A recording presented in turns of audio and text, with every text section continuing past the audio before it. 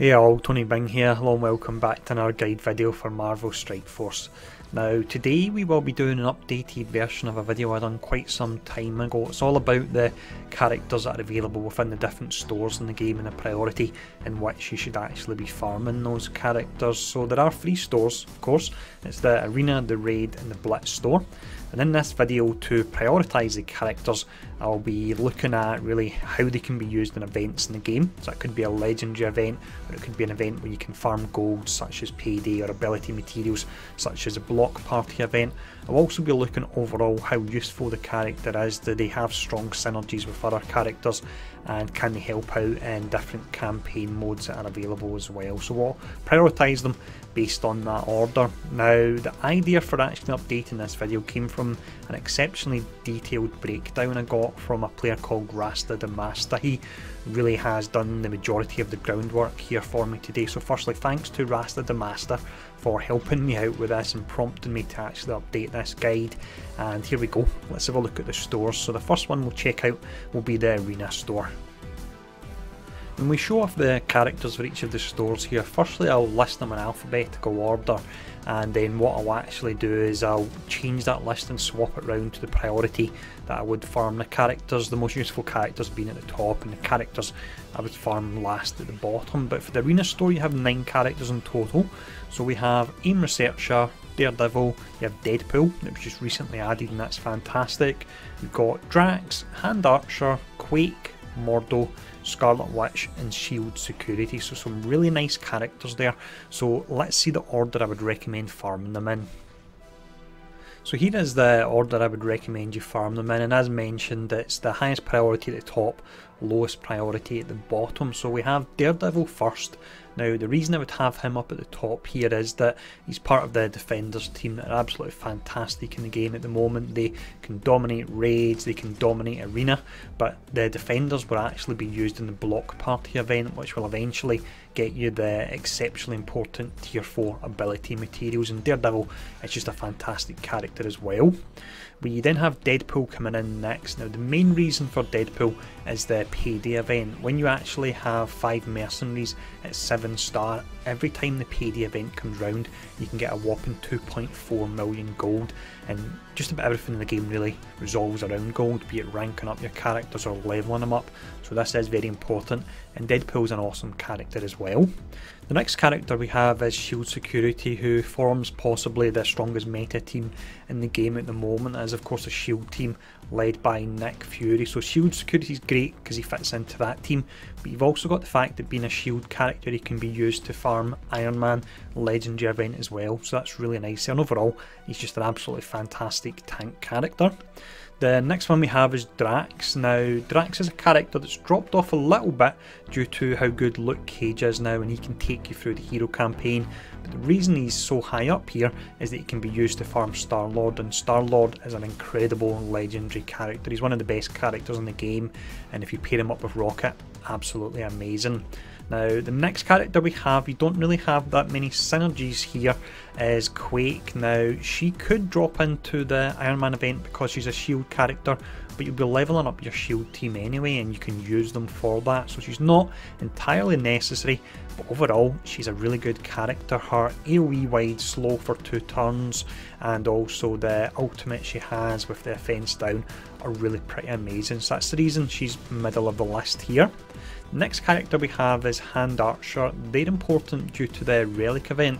The Relic event is where you get your advanced catalyst that you need to actually take your characters. I think it's from gear tier 8 onwards you actually need them so they are exceptionally hard to actually build up a stock of because you're always using them. So that's the Hand Archer.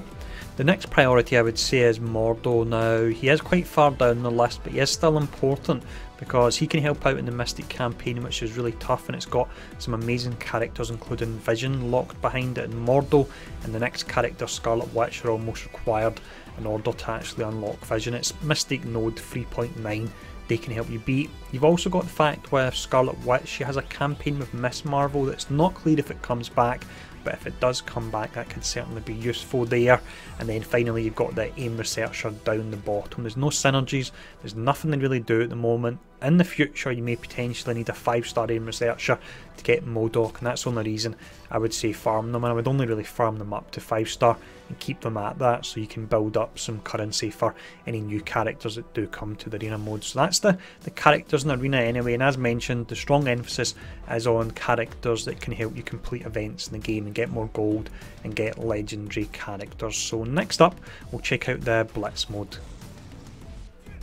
We have 11 characters in total then that are available via the Blitz store and this one was actually really quite difficult to prioritise. We have some awful characters but we've got some pretty amazing ones as well. Now the characters we'll look at uh, it's AIM Monstrosity, Ant-Man, Crossbones, Gamora, Hydra Rifle Trooper, Hydra Scientist, Kree Royal Guard, Luke Cage, Mercenary Riot Guard, Ravager Boomer and then finally Spider-Man. So let's see the order I would place them in.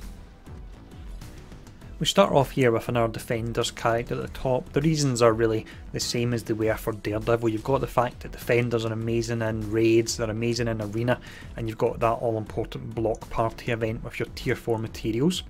The next character we have is the Mercenary Riot Guard. The reason we have a minion in second place is that he can help you actually get to the maximum tier in the payday event and once again you can get 2.4 million every time it comes round if you've got a max 7 star team.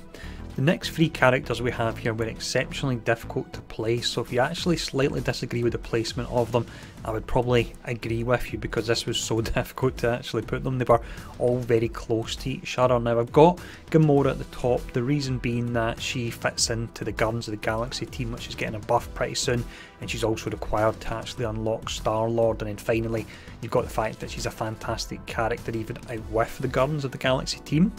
Next up you have the Kree Royal Guard. The reason they're as high up as that is they would be actually required to unlock Nick Fury. You, you need five Kree characters to do that and also the Kree will be getting a buff pretty soon. I think it's March we're thinking of due to the, the Captain Marvel movie. Next character is Spider-Man. He works exceptionally well on the Spider-Verse team. He can be used in the block party event, but you can actually use Defender instead, and that's the reason he's a little bit lower down out of the three here. Overall, he is still an absolutely awesome hero. The next one we have is Crossbones. He doesn't really tie in with any events or any modes, but he's got one of the best ultimates in the game, so that's why he's middle of the list here. For the next four characters on the list here, we have a break in it, and the reason for that is once you actually get to this point at Blitz, you may actually want to consider buying uh, orbs that cost 350 of the Blitz currency, whereas a minion will cost you 400, a named hero will cost you 500 because the characters you want at that point you already have. If you get duplicates, they can go towards Ultimus shards, which is really nice. And also with these orbs, you can get anywhere from between 3 to 6,000 gold in them. Now, the four remaining characters anyway, you have Ant-Man that's a, a much better character than I feel a lot of people actually believe he is. His two tons of ability block is pretty awesome and he's slow as well. Hydra Rifle Trooper can be useful for the Blaster Challenge and potentially, again, you may get Red Skull locked behind Hydra characters. AIM Monstrosity may lead into MODOK eventually. Finally, the Ravager Boomer, you really don't want to invest in him at all because there's now no need for them because we can farm Groot, which means we can get our 5 characters in order to farm Star-Lord, so there's genuinely no need to go for him at all there. So with that covered, let's have a look at the final store. This is a raid store. We have 10 characters in total here for the raid store. Now the way the store actually rotates with only 3 characters available every cycle, it can be a bit of a slow farm unfortunately, but we've got some really nice heroes there now. They are Infector, Hand Sentry, Hydra Grenadier, Kree Oracle, Mercenary Soldier, Ravager Stitcher, Rocket Raccoon, and oh my, Rocket Raccoon is awesome, Ronan, Shield Trooper, and then finally Thor. So let's now have a look and see the order of priority for farming these. At the top of this list then we have one of my favourite characters in the game is the awesome Rocket Raccoon. Now he's great because he's required for the Star-Lord event and the combination of Rocket and Star-Lord together is absolutely insane. You can almost get the ultimate every turn if you throw in Thanos as well there. He's just an incredible DPS character. He puts out wide AoE damage and you also have the fact that he can help out in that blaster challenge where you get your catalysts so that is exceptionally important. The next character we have is Shield Trooper. Now they can be used like the Shield Security we talked about already, so they're used for the Iron Man event to unlock him. They fit into the Shield meta team with Nick Fury, and you've also got the fact he's a blaster, so again he can help out the same way that Rocket Raccoon would in farming your advanced catalysts. Next character we have here is a Kree Oracle. Now the reason I put the shield before Kree is that if you farm up a full Kree team and unlock Nick Fury that would be great but you need to have a shield team to go alongside them. So that's the reason I would say farm the shield characters up first, and they're actually really good without Nick Fury as well. But it's Kree Oracle, and like the other Kree characters we've already mentioned, he is a requirement in order to unlock Fury and get that meta shield team, so he really is important. The next character we have is one of my favourite protector characters in the game, it's the Awesome Hand Sentry.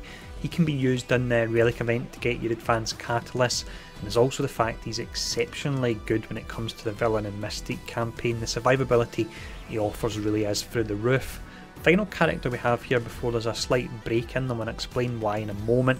Uh, it's Ronan. I would say it is still worthwhile farming them because the Kree and Ronan will be getting a rework soon and if the reworks are like any other reworks we've seen they'll probably be really quite powerful.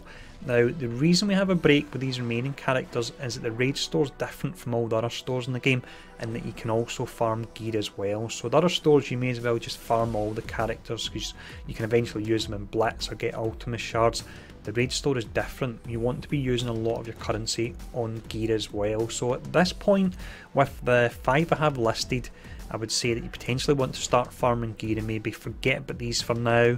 But the characters we have are Thor. Now these are the higher end of this list here because I'm thinking he's a flagship character, surely he'll get buffed at some point and become a lot better and if Asgardian characters come to the game that would help him out due to his passive and additional damage he gets. Next up we have Hydra Grenadier, like the other Hydra characters in time, they may be used to unlock Red Skull. Same goes for the AIM Infector who could be used to unlock MODOK potentially, and then the final two characters I would say that unlock them and use them in your Blitz team. Other than that, don't go any further. It would be Ravager, Stitcher, and Mercenary Soldier. They're not needed for any events, they don't really fit into any teams or anything like that, and they're pretty weak characters as well.